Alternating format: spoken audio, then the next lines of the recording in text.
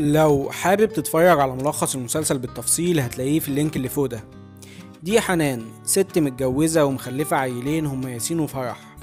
جوزها مات وبدل ما هي تاخد الوصاية على عيالها قانون الوصاية بيقول إن بعد الأب بتتنقل الوصاية للجد اللي هو أبو الأب المتوفي. وطبعا ده شيء مش طبيعي لأنه ما بيديش الأم أي سلطة على عيالها. ولا سلطة مالية ولا سلطة تعليمية. يعني لو عايزة تتصرف في أي فلوس تخص عيالها ما تقدرش. لازم الواصي هو اللي يتصرف. وكمان الواصي ما يقدرش يتصرف كده بمزاجه. لازم يرجع لحاجة اسمها المجلس الحزبي يعني لو عايز يبيع أي ملك يخص الأولاد الأيتام لازم يروح المجلس الحزبي ويقدم طلب ويمشي بالروتين بقى. وحلني عقبال ما يوصلوا الحل. وبينزل واحد من المجلس الحزبي ده يعاين الملك ده. ويديله سعر ولازم يتباع بالسعر ده مش أقل منه كمان. يعني لو العيال كانت محتاجة عملية مستعجلة مثلا يستنوا شهور عقبال ما يعرفوا يتصرفوا في أملاكهم. ودي من أحسن الحاجات اللي ناقشها المسلسل.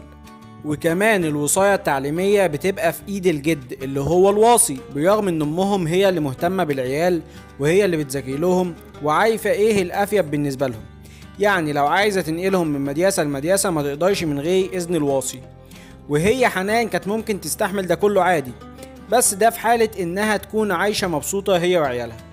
بس للأسف ده هي كأنها ما كانتش عايشة أصلا. جد العيال ما بقاش يصرف مليم على العيال. حتى إيجار الشقة بتاعتهم مش عايز يدفعها. وغصبهم ينقلوا يعيشوا معاه هو ومراته وابنه الشحط صالح اللي قاعد معاهم. طب هو ينفع واحدة زي حنان تاخد راحتها في بيت فيه اتنين يتجالى أغراب عنها؟ لا وكمان اللي زاد الطين بلة صالح أخو جوزها ده حط إيده على مركب جوزها اللي كانت بتطلع لهم قيشين كويسين وبقى يشتغل هو عليها وبيسيق مال اليتامى ويحطه في جيبه وما بيديش حنان إلا ملاليم وفوق ده كله ست العيال بقت تتصرف بمزاجها في العيال يعني حنان دخلت عليها في مرة لقيتها بتقص شعر فرح بنتها وهي لسه بنت صغيرة من غير ما تقول لحنان حتى لا وكمان جد العيال بقى ياخد الواد ياسين من مدرسته ويخليه يشتغل معاه في الورشة. ويقول لحنان بلا تعليم بلا نيلة. يعني اللي خدوا شهادات عملوا إيه؟ خلي الواد يتعلم له صنعة في يدله. لا وكمان الواد يا عيني في مرة وهو شغال في الورشة مع جده حتة يايش دخلت في عينه وكانت هتصفي له عينه. وكان محتاج عملية كمان. فطبيعي إنها ما كانتش هتقدر تستحمل كده وكانت لازم تطفش من وشهم وقدرت إنها تهرب فعلا من اسكندرية هي وعيالها وراحت دمياط وقدرت تأجر شقة هناك كمان. وكمان قدرت إنها تخلي شوية صيادين كانوا شغالين مع جوزها يجيبوا لها المركب لحد دمياط. وقدرت كمان إنها تدهن المركب قبل الصبح ما يطلع عليها عشان عارفة إن صالح هيبلغ عنها أكيد. وده اللي حصل فعلا وصالح بلغ عنها واتهمها هي بسرقة المركب وحنان كانت خطتها إنها تشتغل على المركب ده كام شهر كده لحد ما تمسك قيشين كويسين. تقدر من خلالها إنها تزور بطايق ليها ولعيالها. بحيث من خلال البطايق الجديدة دي تقدر تعيش حياتها بمزاجها وتبقى هي الواصي على عيالها. بس الخطة ما كانتش سهلة. اولا كانت محتاجة فلوس كتير عشان تعمل موضوع البطايق ده. تاني حاجة شغلانة المركب مش سهلة ومحدش هيرضى يشتغل على مركب يريصه واحدة ست. فكانت حنان مضطرة إنها تجيب ناس محدش بيشغلهم خالص في المينا كلها. زي عم ربيع الراجل الكبير اللي مبقاش يقدر على شغلانة البحر أصلا بس هو ما بيعرفش يشتغل شغلانة تانية. وهو حاسس إنه لو بعد عن البحر يموت. وكمان بقى شوية عيال سمعتهم سابقاهم محدش بيشغلهم أصلا. عشان اللي فيهم بتاع نسوان واللي فيهم بيبلبع بيشام واللي فيهم حرامي. بس حنان ما كانش قدامها حل تاني غير إنها تطلع مع حمدي وعيد وشن وعم ربيع. وطلعت معاهم البحر فعلا عشان تجيب يزقها ويزق عيالها. وخلت الواد ياسين هو اللي يفضل مع فرح أخته وعلمته إزاي يهتم بيها وكمان إزاي يحضر لها الرضعه ويحطها في البيبيونه وإزاي يغير لها وكل الكلام ده. المهم بعد ما طلعوا يصطادوا الدنيا ما كانتش أحسن حاجة لأن العيال كلها كانت مستقلة بيها. ومحدش فيهم حابب إنه ياخد تعليمات من واحدة ست بس هي حاولت تمشي الدنيا على قد ما تقدر. وكمان واجهتها مشاكل تانية زي إنها نسيت تحط جاز في المركب. بس قدروا إنهم يتصرفوا واستلفوا جاز من مركب تاني في عرض البحر. وحنان ما كانش معاها فلوس تدفع. فعم ربيع هو اللي ضمنها. وكمان بجملة البلاوي اللي فوق دماغها الواد حمدي كان عايز يفتح كلام معاها ويلغيها بس هي صدته. وما بقتش حاسة بالأمان خالص. بس في الآخر ربنا كرمهم واصطادوا صيدة حلوة. بس الدنيا مش بتحلو الحنان كده بالساهل. لأن بقى عندها مهمة تانية مهمة بيع السمك. وكان في بياع في المينا اسمه السيد. عايز يضحك عليها ويشتري منها طاولة الجمبري اللي بتتباع أقل حاجة ب 1900 جنيه عايز يشتريها منها ب 1500 جنيه. فهي كان صعبان عليها مجهودها ده كله يضيع على الفاضي. وقالت هتبيع السمك هي مش هتحتاج تبيع لتاجر جملة. وبعد ما كانت هتبيعه كمان وبسعر كويس السيد ما سابهاش في حالها. وقال للناس اللي بتشتري ده جمبري مزايع فالناس محدش يقدر يشتري منها. والجمبري كان هيبوظ. فعم ربيع قال لها أنا هروح أتكلم مع السيد وأخليه يشتري مننا الجمبري ونخلص بدل ما يبوظ. بس السيد قعد يتريق عليهم وقال لهم مش هشتري جمبري مزايع ولو هاخده هشيله على ألف جنيه للطاولة. فهي بالعند فيه قعدت تنده على الجمبري بتاعها وقالت عليه إنه جمبري مزايع وباعته الطاولة على 1200 جنيه. ولا إنها تبيعه للي اسمه السيد ده. ده كله وصالح مش عايز يسيبها في حالها وعايز يعرف مكانها عشان يسرق منها المركب. بس هي كانت بتاخد حذرها على قد ما تقدر. وكل ما هو يحاول يوقعها في فخ هي كانت بتتفاداه. وطلعت تاني مع البحرية عشان يصطادوا. وحمدي لتاني مرة كان عايز يتحرش بيها وهي نايمة. بس هي قامت على آخر لحظة وتاني يوم الصبح حذرته لأنها شكت إن هو أكيد اللي هيعمل كده مش حد تاني. وهما بيصطادوا بقى وعشان قلة الصيادين كانت هي بتساعد معاهم. بس الشبك لف على رجليها وعورها جامد. واضطروا ينقلوها على المستشفى. وتعالجت الحمد لله وقامت بالسلامة. بس للأسف الجمبري اللي اصطادوه مات قبل ما يتباع. لأن السيد حطها في دماغه خلاص ومنع مصانع التلج يتعاملوا معاها. وكمان لما جت تبيع في السوق هو قام باع بضاعته على 700 جنيه ومحدش يقدر يشتري منها. ومات الجمبري وشقاها وتعبها راح على الفاضي. لا وكمان حمدي وشن وعيد سابوها ومشيوا لما قالت لهم هبقى اديكوا وجهكوا المره الجاية. بس عم ربيع قال لها ما تخافيش في حل بإذن الله. والحل كان إنهم هيستلفوا فلوس من واحد بيسلف فلوس. بس بياخد فلوسه الطقطقين يعني هيديها عشرين ألف جنيه هياخدهم بعد أسبوعين خمسة وتلاتين ألف جنيه. وهي وافقت على كده. وقالت عشان ما تبقاش تحت رحمة السيد قررت إنها مش هتبيع في السوق خالص. وقدرت تلاقي محل كده بتاع واحدة ست اتعرفت عليها. وقدرت تقنعها إنها تشاركها ويفتحوا مطعم ومحل بيع للأسماك. والست فعلا وافقت وطلعت حنان وقدرت إنها تصطاد صيدة حلوة ومش جمبري وبس. لا وكمان أسماك مختلفة وربنا بدأ يفتحها عليها. بس الواد حمدي مش ناوي يبطل نجاسة وحب يستفيض بيها. واستغل انشغال باقي البحرية تحت بالسمك ومشغلين أغاني بصوت عالي وحاول يتحرش بيها المرة وهي صاحية. بس هي حاولت تهرب منه. وقعدت تنادي على رجالة بس ولا حياة لمن تنادي لحد أما خلاص كان حمدي قرب يتهجم عليها ومسكها فهي ما حستش بنفسها غير وهي بتدب السكينة ببطنه ولما بقى الرجالة طلعت وفهمت الحكاية قاموا نقلوه على المستشفى وعم ربيع قال لهم يقولوا انه اتعور عادي من المركب بس عيد قام بلغ وقال لحمدي استغل الفرصة براحتك هي دلوقتي تحت أسنانك. وحمدي استغل الفرصة فعلا وكان عايز ياخد المركب كلها. بس عم ربيع قدر يقنعه إنه ياخد نص يزق المركب بس. وحنان وافقت وهو ما كانش قدامها حل تاني. ولو دخلت اسم وخدوا بطاقتها كل حاجة هتتعرف وهيتقبض عليها. وبقت مضطرة إنها تدي لحمدي نص يزق المركب طول ما هما شغالين. لا وكمان حمدي بقى عامل فيها ريس زيه زيها. بس هي قالت تعدي اليومين دول لحد أما تخلص موضوع البطاقة وساعتها يحلها ألف حلال. وربنا كرمها وجالها واحد عنده أربع مطاعم سمك وطلب منها طلبية سمك كبيرة جدا وبمبلغ جامد جدا. فحنان طبعا وافقت وكمان قدرت إنها تتفق مع شوية صيادين تانيين إنها تشتري منهم السمك اللي هيصطادوه. وقدرت إنها تورد الطلبية وكسبت قرشين حلوين. بس الحلو ما بيكملش لأنها رجعت في يوم البيت لقت ياسين مش في البيت لا هو ولا فرح. وطلعت لقيته بيلعب في الشارع مع العيال كورة وسايب أخته. فقعدت تهزقه وتضربه وكمان مسكت الكورة قطعتها وهو كان يوحو في الكورة فقال لها أنا بكرهك وسابها وهي وكان هيروح لعمه صالح.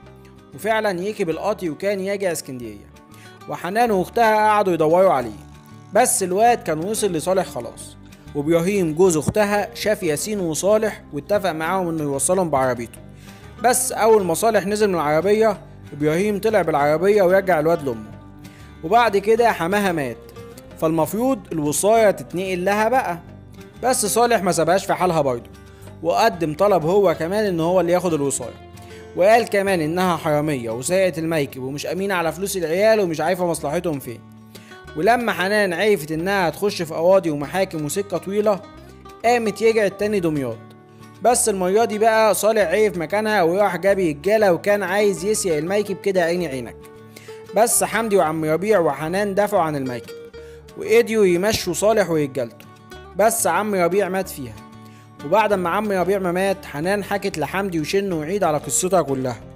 فهم قالوا لها وإحنا رجالتك ومعاكي في اللي تطلبيها يا ريسة وكمان اقترحوا عليها إنهم يخشوا في الغميق المرياضي ويصطادوا الجمبري الفراولة وساعتها هتقدر تسدد كل ديونها وتكمل تمن البطاقة وتهرب وتعيش براحتها. بس صالح ما كانش سايبها في حالها وكان واقف لها بالميصاد. بس هي قدرت إنها تتفق مع الصيادين اللي بتتعامل معاهم إنهم يزنقوا على المركب اللي صالح أجرها عقبال ما هي ما تخلع منه. وقدرت فعلا إنها تخلع ويرجع صالح قفاي أمر يعيش بس لقى السيد واقف وفهم منه كل الحدوتة. والسيد قال له سيبها لي أنا بقى لحسن أنا مفقوع منها أكتر منك. وحنان والبحرية اصطادوا الجمبري الفراولة وكانوا يجرين ومبسوطين بس الحلو ما بيكملش على حنان ابدا. لأنهم لما يجوا المينا لقوا الكمين منصوب لهم فحاولت حنان تستخبى لحد ما يفهموا فيه إيه. والسيد كان مجمع كل الرجاله اللي في المينا وحكى لهم الحدوتة وقال لهم إن في واحدة بتطلع مع البحرية وتصطاد وده ضد عاداتهم وتقاليدهم والبحرية حاولت تنكر في الأول. بس شيخ الصيادين قال لهم خلاص أطلع أفتش أنا بنفسي ولو كلامكم صح اللي قال الكلام ده هيتحاسب. فحنان قامت طلعت وقالت لهم فيها إيه يعني لما أطلع أجيب يزي عيالي بنفسي؟ قالوا لها ما عندناش ستات تطلع مع رجالة البحر. والله أعلم بقى كنتوا بتعملوا إيه جوه. قالت لهم ما أنا خليت حد يطلع على المركب ويجيب لي يزي عيالي. بس طلع ضلالي وما كانش بيديلي إلا فتافيت. اللي مقومكوا عليا ده صالح أخو جوزي الله يرحمه. بعد ما جوزي ما مات خد المركب وشغلها لحسابه. وما كانش بيديني إلا ملاليم. صالح حاول يهدي الدنيا ويمشي الناس. ويقول لهم هي خلاص اعترفت بغلطتها ودي مشكلة عائلية وهنصلحها مع بعضينا. بس السيد ما كانش ناوي على خير ابدا وقام مهيج كل الرجاله اللي في المينا عليهم. وقال لهم المركب دي نكسه يا رجاله ولو فضلت في المينا ما نبقاش رجاله وطلعوا وقاموا رموا الجاز على المركب وعايزين يولعوا فيها. ومهما حمدي وشن وعيد وحنان دفعوا عن المركب كان برضه عدد اللي في المينا كتير جدا.